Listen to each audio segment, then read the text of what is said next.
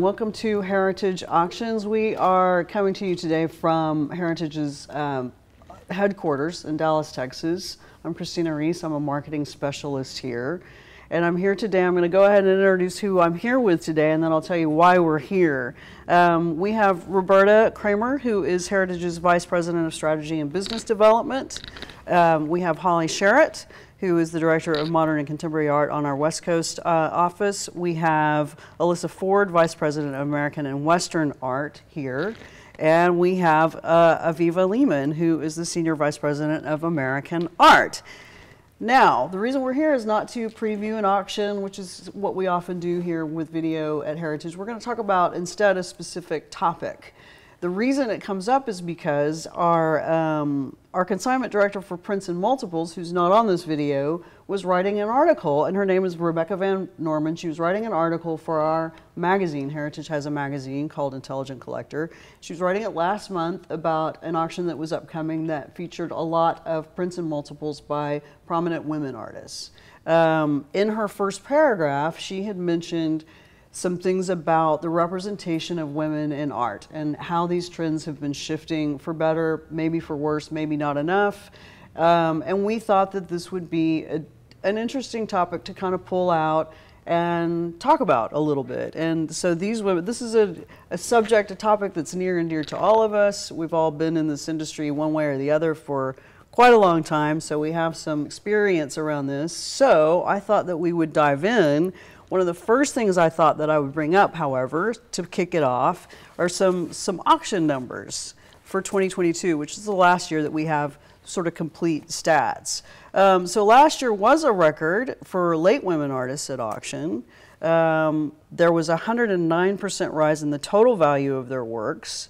Um, and so from 2012 to 22, 2022, excuse me, um, we went from 228 million to 477 million dollars. Of the 500 most expensive works that sold at auction last year, 50 of them were by women artists. Okay, uh, of the top 100 works, just two were by women artists, Georgia O'Keeffe and Louise Bourgeois. And then of the top 50 most expensive works at auction last year, zero of them were by women artists.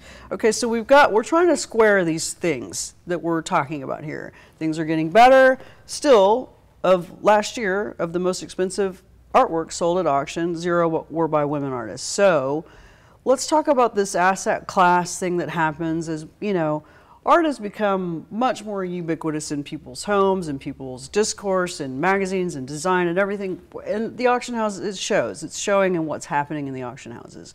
What do you, so let's talk about as art has become more of an asset class, have women artists, living and dead, benefited from this market shift? What are you What are you all seeing, and who wants to start?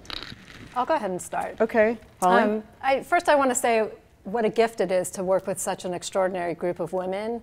And I think just my colleagues here, just this group, um, we probably have close to even 100 years of auction experience yes. between us because we've been in this industry for so long. Mm-hmm. And we've also worked at all of the major auction houses in the country. And we bring these clients to Heritage. And yet, if you look at our auction catalogs, sadly, it's only a small fraction of the artists are by women. So, what does that mean? if, if us, this kind of brains trust of the women working in the art world, can't have an auction with at least 50, you know, ideally more women, what does that mean? And to me, it's a systemic problem. So it starts with our art history books full of men.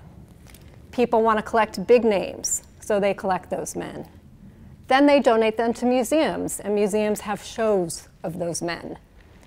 Then, when the museums promote the works, those men become more valuable. And once they're valuable, people want to sell them at auction. Mm-hmm. So when we put out a call to consign, what do we get? We get primarily male artists because they bring the most money. Yeah, yeah, we did. Um, we did have a sale dedicated to women artists in the West, which was fun and exciting. What was intriguing was that I learned as a Western art specialist about artists I had never even heard of. And these women artists were better than some of the things that we get in that we're selling for ten, fifteen thousand dollars. Um, so we, we did do a dedicated sale to women artists of the West.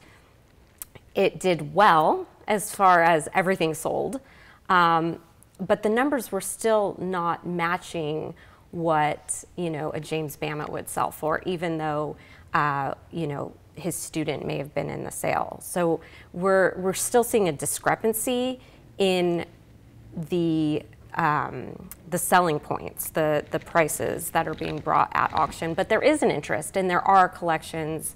Um, people are collecting primarily women artists, and that is the focus of their collection. So I think it's still a work in progress. Sure. Well, we've also seen some little bit of movement.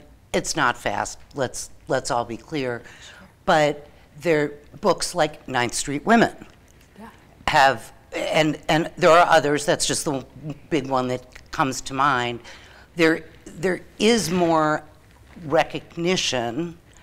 Um, if you look at some individual, now granted, most of these are dead women, um, but I recently had a reason and I went and looked at Grace Hartigan. And even in the prints and multiples area, the prices are in fact on a very steep upward trajectory. And I would bet you more people in the collecting world know who she was now than, than before. They're also in the, um, what we would refer to as the primary market, the galleries, the art fairs, that you see that you don't always see these artists at auction immediately. There are many, many more women, women of color, and they're getting a lot of attention in the gallery world and at the art fairs, so it's just, it's slow.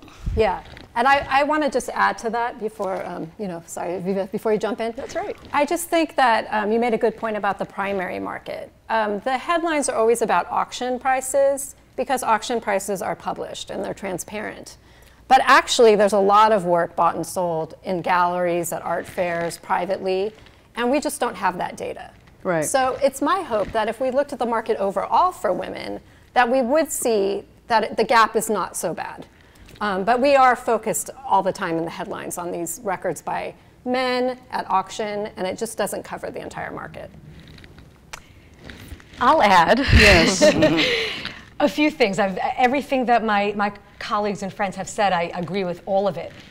I will say that what I'm seeing in New York, I'm the only person on the panel here that's from New York. We really cover the whole country That's here. right.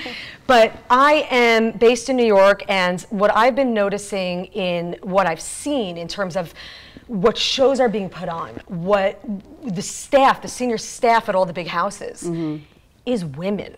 So if you look at uh, most of our competitors, the largest auction houses in the world, you're seeing a lot of power at the high end that's now changing. There's a sea change in who's calling the shots. There's a lot more women involved in these conversations. well, how is that changing things? It's moving it slowly. You know, what I think of it as this large barge, so to speak. The whole art world is almost this large barge. Mm-hmm. And we're all working, all of us on this panel, and you, Christina, and our, our, our, our sisters in the art world, are all moving the barge very slowly. And we're using a lot of force to make that happen. But it's not going to happen overnight. But what I'm seeing is, just in this year alone, at the Met, we had the amazing Alice Neel show. Oh my mm. God. I mean, there was a line out the door. She was such a revolutionary artist who's doing figural abstraction when everyone else was going in another direction. Mm. She is the, one of the hottest artists in the world right mm-hmm. now. Alice Neel, 15 years ago, her, it was pennies on the dollar of what she's selling for now. Or Joan Mitchell, her prices. David mm-hmm. Zwirner represents her now. That's a big statement to the marketplace. Ruth Asawa, her, her, her sculptures were, were selling for under $10,000 maybe 15 years ago. Yeah. That's all changing. Right. And now this amazing show that's about to open at the Met on Cecily Brown. Oh my God! I mean, this is mm. this is what everyone's looking at. So there's definitely this energy and there's synergy and this partnership going on between the art fairs. I mean, the Venice Biennale. The, everyone was just the, the big story was the women artists. So yes, Who the- made up more than 50% of what was being shown in Venice? Exactly. And what all the data that you're shared at the beginning of this talk is is is accurate. Obviously, we are still a very small figure uh, percentage-wise in what's going on in the art world, but we are probably when I say we, I mean the women artists, the women working in the arts, curators, art dealers, all of the above, interns, people in graduate school, mostly women. It's changing. It's slowly changing, and we're moving the needle slowly together. Yeah. So on that note, I'm thinking about the auction houses or our role in this whole movement of the barge, turning it around or turning it to another route, very slowly but surely. So, in, in a little bit of, off of what Alissa was just saying about scratching the surface, coming up with how, what is the auction's basically what is the auction's role? What is the auction house role? in greater awareness of women artists, dead or alive. It, there's a, you know, you're talking about what you're seeing in the primary market. Obviously, that's not even ha- happening for us Mm-hmm. until sometimes years down the line. What's happening now actively? If you're scratching the surface and finding artists who you didn't even know about, you weren't taught about them in school, they're great, they're coming to auction, you want to promote this work. What is the auction house's role in this whole trend? Yeah, well, I'm going to jump in because you mentioned Ruth Asawa, who happens to be one of my favorite artists. she makes these wire And who's been making headlines like crazy over the last abstract three years or so. expressionist work, just Right. gorgeous pieces, beautiful shadows. And I will say that the way that we move this barge, or um, slowly, is you know if a, if a consigner gives me a work by a women artist, I'm going to take care of it and treat it like a gem. Um, for instance, Joan Mitchell is on the cover of our print catalog. It's not the most expensive piece in the sale, but we just love her work and we want to promote it, so we put it on the auction cover. The same thing happened with me with Ruth Asawa. When I started in this business about 20 years ago, I was drawn to her work and I had the opportunity to feature her work on the cover of the auction catalog. At the time, the work sold for about 100,000 and it was a big deal. We drank champagne. The family was so excited. They congratulated me. Um, shortly after that, Christie started auctioning her work, took her to the next level. The prices went up. Then David Zwirner, one of the mega uh, superstar dealers, noticed, and he started selling her work. Now her work sells at auction for over a million dollars. Sure. So I don't take credit. There were a lot of other forces at play. Um, but sometimes just taking those small steps to give the artist a little bit extra to do more marketing, more promotion, more social media for the piece does have a does make a difference. Right, and we have catalog covers. We have opportunities for ads featuring works of art in publications like the New York Times. Um, we have a lot of venues. I do want to correct one thing, which is the primary market. i- It's not true anymore that it takes a long time before we all see it on the auction house side. By and large, that's true. However, there are artists that are being bought at a gallery show. Many of them are women. They'll be bought at a gallery show for forty, sixty thousand dollars, and six months later, that piece is at auction and can, I've seen them bring more than a million dollars. There's a supply and demand. There's um, a, a whole other layer, if you will, going on with some of these, and they're very young. They tend to be like women who are barely 30, or at least to me, that sounds very young. You know, there's a great um, documentary that covers that, this, The Price of Everything. Yes. they- they- there's a segment about just this. But we all see it. I mean, I know we, the, the four of us, and you, Christina, who are all at Heritage, we, as an American house, and tell me if I I don't mean to speak for all of us, but I know we're, we're close and we're friends and we talk about this a lot. That we have this, we feel this responsibility as a large auction house, you know, number three in the world, to take the time and almost slow down a little bit in what we're doing so that we can educate the marketplace about these artists. So we do a lot of writing about it in Intelligent Collector. We do these videos. We partner with different institutions to do lectures, um, and we we really understand that there's we have to start with the younger collectors now getting familiar with these women artists to almost get to a point where they don't look at women and men differently. I They was going to shouldn't be say, I was going to say, what is the difference in the collecting They shouldn't be. days? I mean, look at Robert Motherwell and Helen Frankenthaler. Helen Frankenthaler is like my my, my, I revere her. I worship her. I, I wish I could meet her. And I, I, I dream about Helen Frankenthaler, not to be dramatic, but I, I always, I wish I could go back and talk to her about what that was like when she was working alongside her husbands. And they were both enormously uh, rebellious and just disruptors to what was going on in the world. And everyone seemed to focus. They both had representation. I mean, Helen was represented by Knoedler, yet Robert Motherwell got all the attention and he got the prices decades before Frankenthaler. That's changing now. But I want to know what it was like for these artists. Like, you know, obviously Helen Frankenthaler is having such a moment right now, and, and, and, and Gagosian did a show of her work, not even in America. That's a big statement. A- An American woman being shown abroad. Mm-hmm. That says a lot mm-hmm. by Gagosian. But even more than that, there are other artists that have not come into their own yet. For instance, we talked about this earlier. Milton Avery, his wife Sally Michel, is a, was a wonderful artist. His daughter March Avery is pretty good too, and they all have a very similar style that's very uh, evocative of you know, color field artists, obviously. But Avery was the one, you know, Sally took a back seat to her husband to say, I'm going to support you mm-hmm. because you have a better chance at this than I do. Mm-hmm. And so it's not just about the women artists, but it's about the women behind these male artists over these generations Yeah. that never, we never got to hear their voices. Right. I think this is a very, very important and interesting conversation when it comes to women in the arts because dealing from a historical standpoint, um, there were women working, for example, Ernest Blumenschein and his wife. When Blumenschein came to Taos from New York, his wife was an incredible painter. And he looked at her and said, You can't paint anymore. I'm, you know, one of the founding members of the Taos Society of Artists, and we're men and we paint, and you will make jewelry. Okay, so she stopped painting and she made jewelry. She was a brilliant artist. Um, that said, one of the only members, well, the only female member of the Taos Society of Artists, Catherine Critcher, she had tremendous support from her father and her family as an artist, and she made it. She was the only woman in the 1915 founding of the Taos Society of Artists, which is incredible. Um, there's other artists such as Elmer Wachtel and Marion Wachtel. Um, Marion's prices are much higher than Elmer's, and she's just a better. should I be saying she's a better artist?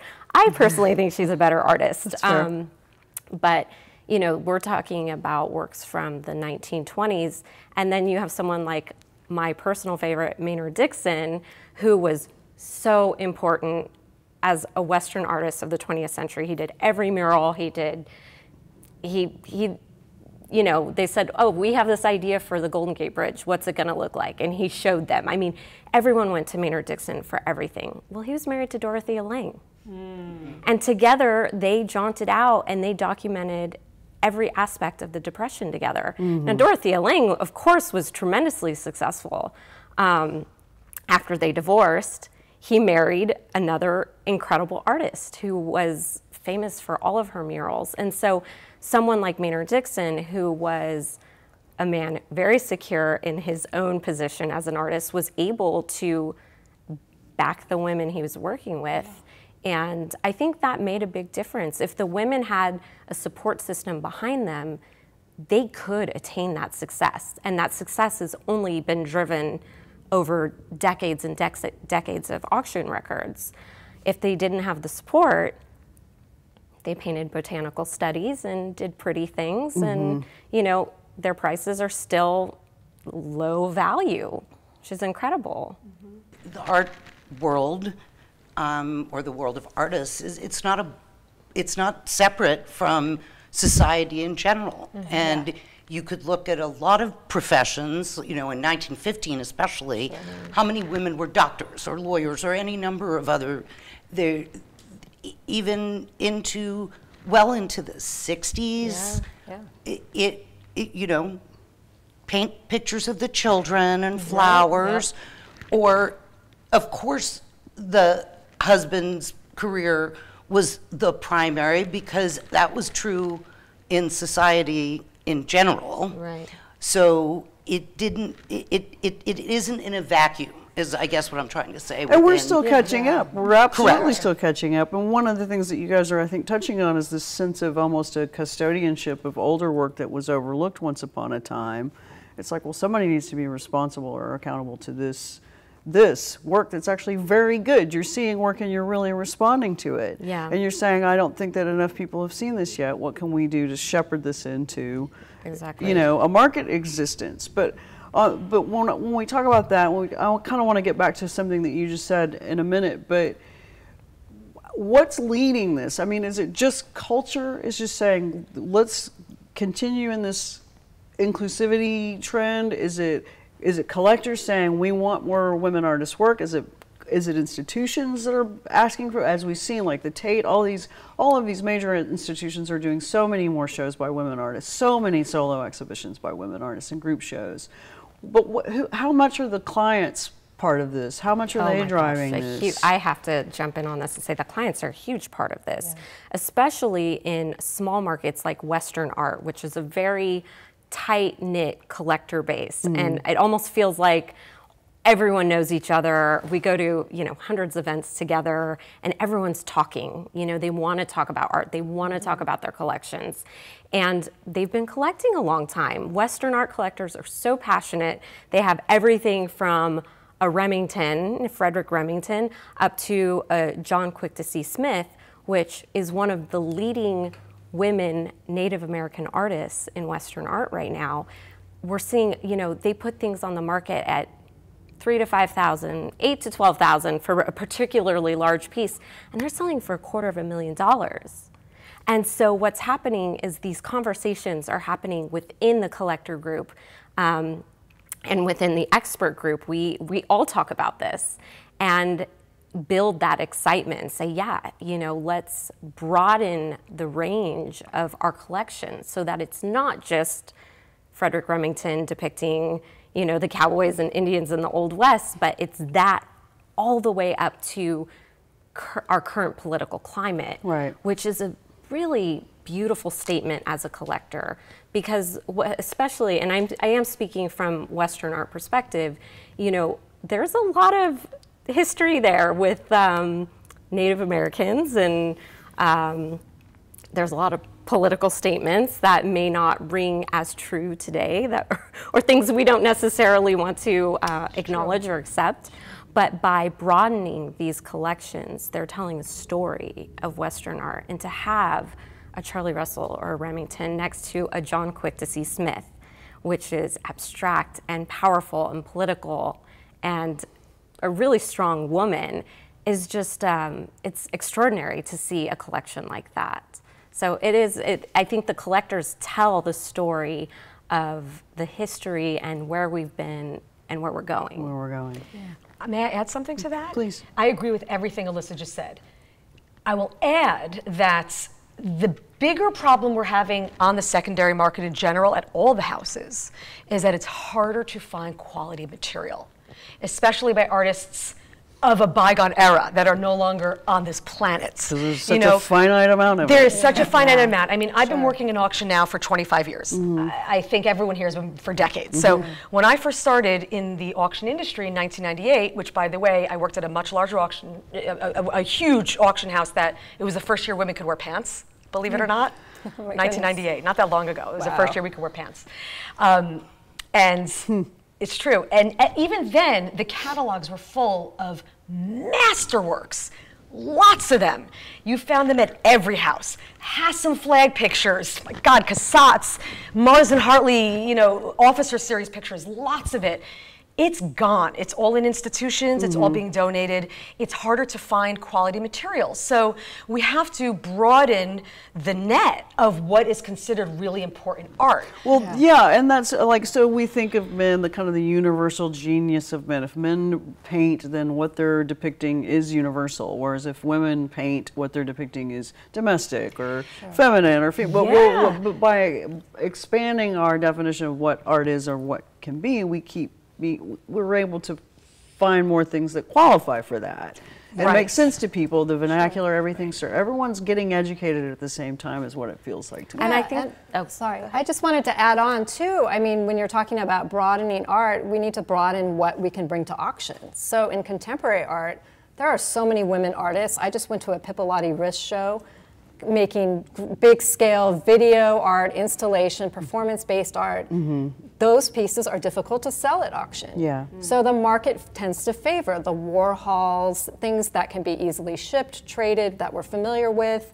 You know, it's very complicated for us to discuss and present a video work or an installation or conceptual piece. So we're leaving out a whole segment of the market. So with far auction we are. So far so we are. So far. But now that we have our people are buying works online and we can present videos, I mean, this is going to change. And like you mentioned, we're slowly getting there. Yeah, but it does sort of feel like Georgia O'Keeffe is our patron saint, doesn't it? Yes. Because mm. she is one of the most expensive 20th century artists. Period. I mean, mm-hmm. Jimson Weed sold for $44 million. Right. And so much of O'Keeffe's mindset in her art is the, f- the feminine side of her psyche and her heart. So even going back, Roberta mentioned 1915, this sort of water, period modernism was flourishing in America, and O'Keeffe was part of her husband Alfred Stieglitz's cir- mm. circle, Gallery 291. But the material she was churning out then, in 1916, was a series actually based on her miscarrying a child mm. and the devastation around it. And a lot of that had to do with the drama she was enduring with Stieglitz, and that's a whole other story, which we could talk about another time. But I guess what I'm trying to say is that there is definitely an awakening from the entire buying world, collecting world, to have an interest in these overtly and thoroughly feminine subjects. Mm-hmm. It's part of humanity, and so it, it's got to change. And so, any major collection, if you don't have important masterworks by women artists, you are lacking in an entire aspect of American art history and in American whole, history. The whole human narrative is Yeah. just not in there. As we move through the years and through the decades, and as the infrastructure, the structures supporting women artists get better all the time, and as more women get into the art world jobs that, like the ones that we have, and at the institutions, the museums, the galleries, what have you, do you think we're still going to be having this conversation 10 years from now? Oh God, I hope not. I, you know, I have to say, having this conversation is difficult because I don't want to have this conversation. To me, art, you know, we look at art because it's beautiful and it's meaningful and it's historical, and we should be looking at art because of that, not because a woman painted it or, you know, a man painted it or whoever painted it. I want to see art for what it is and not for necessarily who painted it. And so one one example that hits very close to me um, is the most expensive painting that I've ever found in my career. We sold it for 1.8 million dollars. It was by a woman artist named Euphemia Charlton Fortune, and it was painted in the 20s. Mm, No, actually, that was painted 19, I think 18. Um, and it was, you know, it was a very beautiful landscape. We, we had 300, 500,000 on it. We sold it for 1.8 million. Um, but what was exciting about her is that she was written up in all the papers that she painted like a man. That's what they said. She didn't get married. She didn't have kids. In fact, there were uh, rumors that you know maybe she had other female lovers, but you know that wasn't discussed and that wasn't a that wasn't a thing then. Um, but what's fascinating is the the art critic write up. She painted like a man. Which was what their way of saying this is the real deal. This is good. This is really good. And what's interesting about her is that while people who were recognizable female artists like Georgia O'Keeffe, Mary Cassatt, you know, Mary Cassatt painted the women with the mm-hmm. babies, mm-hmm. or even what men painted at the time, the ladies in the gardens with parasols and frilly dresses. She didn't paint that. She painted women out in the fields, on the fishing docks, like real women out working. Um, her brushstroke was aggressive and vibrant. Mm-hmm. And in looking at her art, you wouldn't say, oh, a man painted this or a woman painted this. You look at a Cassatt, you say, yeah, a woman probably painted this, right? I want to get to that point in art where we look at something and we say, it's not a, a gender role. It's something that's deserving of being a multi-million dollar painting. It's beautiful, it's exquisite, it's telling a story. And so that's that's my hopes is that we don't have to have this discussion. Although I think, I was going to say, as much as I would, The idea that is- sounds wonderful. um, I think we will be having this conversation. why? now, but it'll Why will we- why? We also haven't brought up, all- we all work for a, a, a big auction house. There, as Aviva mentioned earlier, lots more women in senior roles, etc. But what do we know about, are they being paid what the men are being paid? There's a whole other layer, if you will, um, about women, and we keep, I mean, it seems like we, we take steps forward and then we take some steps back, doesn't it? And that's Yeah. a life, I mean, really. and That's true. That's not, again, it's not just about art, art world, auction world, right? This is just about the world. And you've got to take out your emotion and act like a man in life. I, my, I I have daughters. We, we, we see, I, I teach women, and um, this is a question I know when my, my, my students talk to me about interviews. And they say, you know, something that sort of breaks my heart a lot, where they're like, you know, do I need, give me advice on how to not act too like me in my mm. interview. That's truly, I mean, it's heartbreaking. It breaks my heart. And I want people to lead with exactly who they are and not have to pretend they're anything else. You know, we, I just another example that came to my mind is this artist that I really like. Her name is Irene Rice Pereira, who is a pretty obscure artist but important. She was part of the Park Avenue Cubists. She worked with Charles Green Shaw, um, part of that whole scene, and George L.K. Morris. And she signed her works I period Rice Pereira, so people would not know that she was a woman. A lot of lot of women writers did did the same Yeah. thing, right? Exactly. I- And I would guarantee you there are still Absolutely. But isn't Well, it but actually, these Yeah. days now, it seems like if y- you know if a woman is making some artwork, it's it behooves her to have her name on the work. I mean, because now people are looking Yes. for this; they're hungry for this. But this. this is They're- very recent. It's very recent. and that I don't know if 10 years Will be enough is time. No. enough time Yeah. where we don't need to have these conversations. no, conversations. it's not enough time. But we're having these conversations so that our children, hopefully, don't mm. have to. Don't have to have these conversations. But it is interesting, like Aviva said, you know, it is, for the longest time, the art world was a male dominated industry. And what was wild to me when I was going through college is that I think there was maybe two guys in all of my art history classes. That's right. Yeah. That's right. And when you enter the industry, all of a sudden, the women are gone. There's like, where, how did these guys get here? Where where are they from? You they were the two guys napping when they turned the slides on. And At the very top, though, if you look at contemporary art world, I, let's not forget that we have these superstar male dealers like Yes. Gagosian driving the market.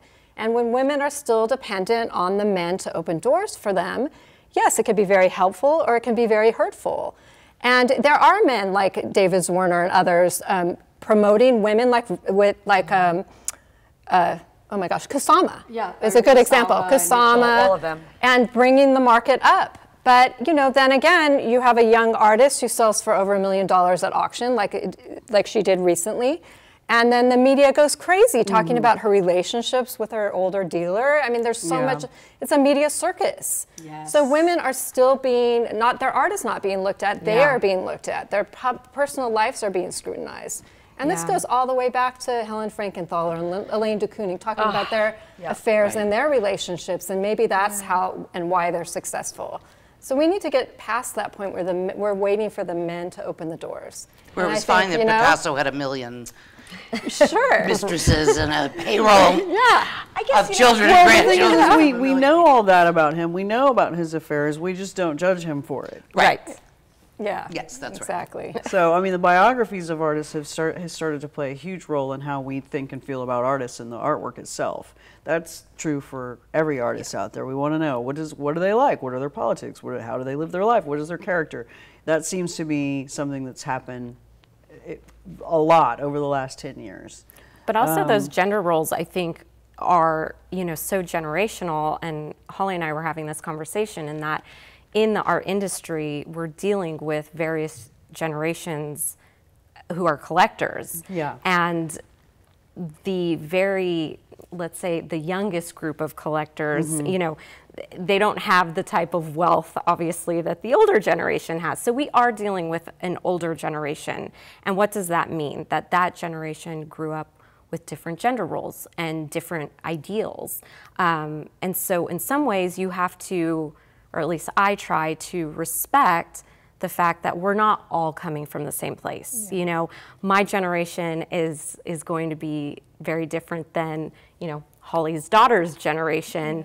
Um, who you know will look at me and maybe say, "Oh God, I can't believe she just said that," or "I can't believe she still does that." You know, there are generational gaps, and I think we have to be sensitive to those as much as we can, while still, you know, defending what we believe in as women. Are in the our younger generation. collectors, this this younger, the youngest cohort of collectors who are buying from auction, are they more interested in late artists who are women or the I here think and now? That's probably a good question for Holly because most of my collectors are Right. a little more um, sophisticated and have been doing this a long time. So I don't. I mean, it, it's interesting. There's not one market. There are many markets. So Alissa is dealing with, you know, a different collecting base than I am in contemporary art. Mm-hmm. But I will say that our buyers and our bidders have a lot of power to change things, and we haven't really touched on that point. So. In terms of if, if you really want to elevate the market for women, it's the bidders who have the opportunity to do that. And that's why we take steps to make sure that we can reach as many people as possible. But I don't think people necessarily understand that, you know, when we get a work of art, we're not putting a price tag on that piece. We are giving you an estimate, which is a range of what the work has sold for in the past. Right. So we're looking at past comps. These comps can change quickly. Mm-hmm. If there is a, a buyer base for women artists and people really want to bid, and we can get you know one or two people to bid on a work, that market changes for that artist Overnight. going forward. Right. Yeah. So the next time, you know, we can feel better about putting a higher estimate. It doesn't take a long time necessarily. This is why, you know, maybe in 10 years things will be different. Th- This is a small group of people in the art world that have the power to change things. It's a very small fishbowl. Well, and we're, we, we act as advisors. Yes. Right? Right. The bidders, bidder collectors have the power um, in their bidding to move a market up. And we act with them in terms of education.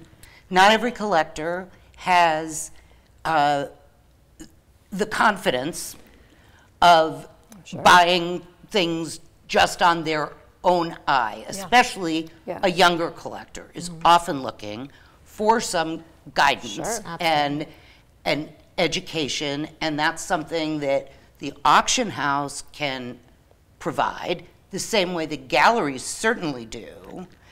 But we can't tell people what to buy. Uh, We can strongly suggest this is a great work. Right. It would be great in your collection. Tell them all about it. But there are gallerists who can actually say, "You're buying that," Yeah, exactly. and that we can't do. Right. That's true.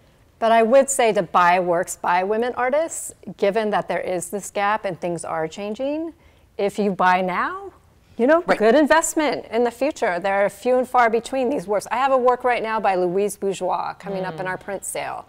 Uh, you mentioned her earlier. Her Spider was one of the top mm-hmm. auction records ever. Mm-hmm. I have a print. She made a drawing out of rope, made it into a 3D model, printed it on handmade paper. There were only 50 of these prints made, and the estimate is four to six thousand dollars. Wow! Oh wow. Why aren't more people bidding? So here I am making a plea. I want it. Bid on that, you know, Yeah. and you want it. And the, the issue is the women sometimes, you know, maybe not the case of the people on here, but some of the women working in the art world who appreciate this most don't have the wages to collect the art. yes. So if we can raise the bar, like like Roberta said earlier, this is a societal issue. It's not just about the art world. If a woman has a working wage, we're going to see collecting, people collecting different differently. Um, more women collectors might tend to gravitate towards more women artists. I don't know. if the wage gap across every industry changed, Yeah. we'd have Right. women in a better position to be collectors because Right. Most of I mean it's usually a big story when a woman is makes a big purchase. I remember a few years ago. Remember when the Banksy sold at Yeah. Sotheby's, Yeah. the one that shredded, it was a woman who bought it. And that was a story. And I remember feeling angry. I'm like, who cares? Why is that a big deal that a woman bought it? Uh-huh. But it was because it was so unusual. Right. That Yeah. says a lot. There's a lot of issues with That's that. news. If Yeah, it's news, it's it's news. Yep. Well, and it, and what we, we do have now that we didn't historically. Last summer, I was in a used bookstore in Cape Cod, and I found an old book called Women Collectors. and I bought it. I plunked down the six ninety nine or whatever, for- and as as I went through, the women collectors that were depicted in this book that was probably you know printed in the 50s or something what all either inherited vast wealth mm. From their fathers or were married as as my mother would say married well Yeah, that's right. and but that their husbands indulged their hobby, if you will, of collecting. Mm-hmm. We are seeing a change now because we do have women who are founders of big companies all on their own. Thank you very much. Mm-hmm. Who are collecting all on their own Yes. and Yes. It- but agreed, not enough of them. But it still shouldn't be a story Yeah, that exactly. a woman bought something. It, you know, would it be a story if a woman went out and bought a big diamond? Can you imagine? Can you imagine if, like, oh, this Basquiat triptych was bought by a man? But I think that's what we were talking about earlier, right? Is that we hope that one day we aren't having this discussion. That's right. And Yeah. that it isn't a big deal. That's that right. there are, you know, collectors from different genders, different races, different whatever. It just needs to be equal, just Yeah. equal. It doesn't have to be better, worse. Just it should. It's a non-issue. It should be a non-issue. Right. And sometimes the art does speak for itself. I will Sure. say, we had um, we had a painting come in a couple years ago that it, it was by a woman named Blanche Grant. No one ever heard of this woman. In fact, I didn't hear of this woman. I had no idea who she was at the time. I look up her records, and I think the highest price paid at auction was, you know, $750 or something. And I thought, that's weird. This painting is really good. I mean, it was good. It was, I want to say, 1912 Taos, big, rich, beautiful piece. And I thought, well, you know what? I'm going to bring it in. I hope no one kills me here that I'm bringing this in because I'll buy it. You know, I oh, love Yeah, this painting. I think it's great. So we brought it in at I think uh, three to five thousand dollars, and the consigner was wonderful. He was like, "Well, let's give it a shot and see what happens." And that day, I stood on the podium and I sold that painting for sixty-five thousand dollars, Wow.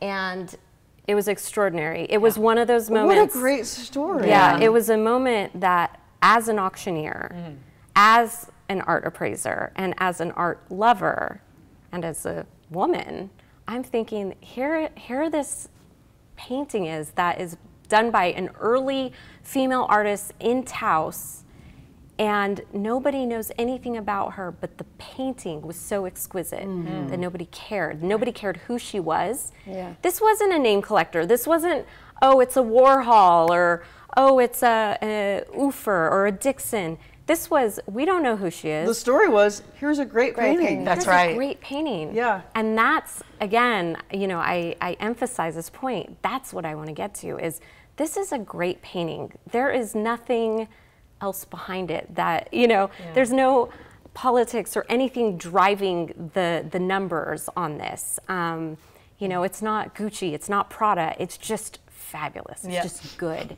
And that's what that was. And and uh, Needless to say, the consigner was very excited, I would imagine. and we still hold the record till this day for that for that painting. Um, and uh, you know, I'll never forget that moment. Well, and that's what the market should be doing. Right. Right? Right. Is the market recognized that it was a fabulous painting? Exactly. Yeah. And it's not a trophy. Yeah. Um, Sure. and it didn't scream who the artist was from across the room, Exactly. Yeah. which has tended to be an unfortunate trend Yeah. over recent years. So, but it was a great painting. The Yeah. market saw it and bid appropriately on it. Yeah. Right. But that doesn't always happen. I just want to say, I, mean, that would be wonderful if we could just take in every painting that we personally enjoyed and loved and thought was amazing, especially in the contemporary art. I've learned in this job, I have to suspend my own aesthetic judgment. Mm. That's number one. I would love to be promoting. Well, we compartmentalize, don't we? Yeah, totally. right. I mean, suspend. I there's sometimes there are works that I really would love to feature, but I know I could have a negative effect on the market for the women or whoever.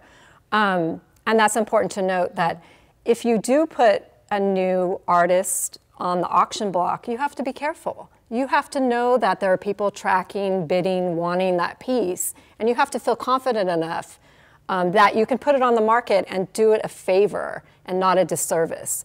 You don't want to bring pieces to auction that don't sell. Right. Yeah. That's now now there's a public record and you've actually hurt that artist's career. So we're always being very careful what we take and what we don't take. There's a real And you know, there's a responsibility there. So it's not like, okay, this woman is great. We're not promoting the artists. That's for the dealers, the galleries. And generally we get artists later, a little bit later after they've already developed an audience. So for Alissa's painting, I think it was just, it was beautiful and she knew her market.